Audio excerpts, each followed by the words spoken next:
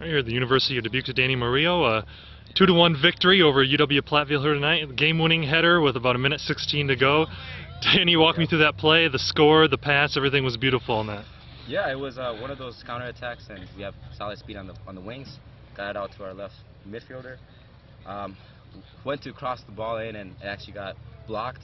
So as he pulled it back to his right foot, I just read the play, and uh, you know, just a little bit of instinct, and he got a great ball in there, and all I had to do was you know direct it into the goal. So.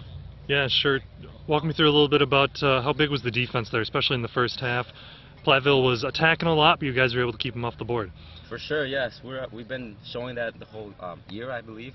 Uh, it's solid in the back, cleaning it up, and uh, I think we did a great job. You know, just getting them, keeping them off the scoreboard. Uh, and their defense as well was compact. We couldn't really find those gaps like we usually do. Um, so it was a little bit frustrating there. And uh, walk me through certainly seemed like a physical game, and you guys kind of have similar records coming into this contest, so it certainly seemed like a dogfight right to the end. Sure, yeah. They, we have a, we know every college game is going to be like that. Sometimes, you know, you, you go you go in and you give it all.